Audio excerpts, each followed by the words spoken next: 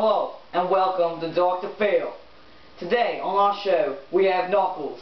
He's just been through a serious divorce, and now he's facing the hardships. Knuckles, how, how is this divorce treating you? Well, uh, I just had a divorce, as you just said, and, uh, it's really hard, and I didn't know who to turn to, so I came here, yeah. Well, today is going to be a changing day because we on you're on my show. You know, I just help people a lot. And oh, commercial break? Yeah. Oh, okay. Oh man, I, I actually have hair. You know. We're, we're still on. Oh. So, what are your thoughts on the divorce? Well, uh, it's really hard, and I don't think I'm ever No! be... That's where you're wrong, right there. Because you know, nothing is too hard. Nothing. Yeah. And now, oh, uh, we'll be back after this commercial break.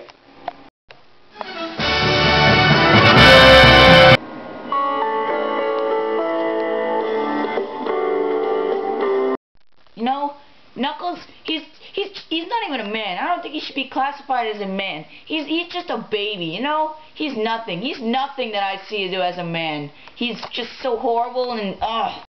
I just hate it when he comes home because I have to put on a stupid charade that I love him and everything, but I don't. As a matter of fact, I'm sleeping with a Tyrannosaurus Rex down the road. Hey. And now, back on the show, we have Karen. What? So, Karen, how how how could you just divorce, you know, Knuckles for just being just not like not manly enough for you? Well, you know, he's just a freaking son of a beep. My, there's no foul language on this show, Missy. You know what? I, Yeah. Dr. Phil, I'm sorry for the language. And maybe I've been wrong about you, Knuckles. Because, you know, it's, you are a man. You're more than a man. I, I think we should get married again. What? And Well, and so ends another show on Dr. Phil. Now I have to go. well, where, where the heck did he go? Um, I don't know. I've always heard Dr. Phil has superpowers.